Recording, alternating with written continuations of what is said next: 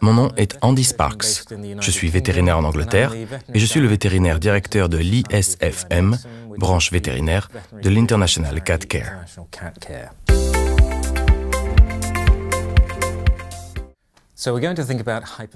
Qu'est-ce que l'hypertension artérielle ou pression artérielle élevée chez le chat?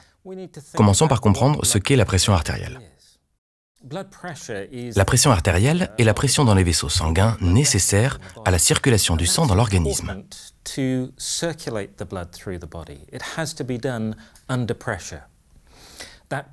La pression est générée par les contractions du cœur.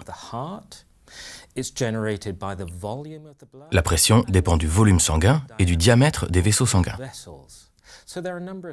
Plusieurs éléments contribuent à la pression artérielle. Cette pression doit rester dans des valeurs bien précises. Si elle est trop basse, la pression n'est pas suffisante pour permettre au sang de circuler dans l'ensemble du corps. L'animal peut alors perdre connaissance.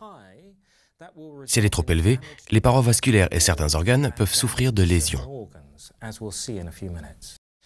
L'hypertension artérielle est une augmentation excessive de la pression artérielle qui est souvent appelée le tueur silencieux.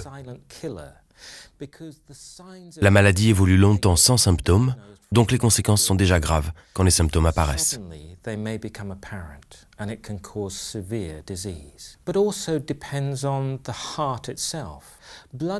La pression artérielle est plus importante quand le cœur se contracte pour pomper le sang dans l'ensemble de l'organisme. Cette contraction est appelée systole.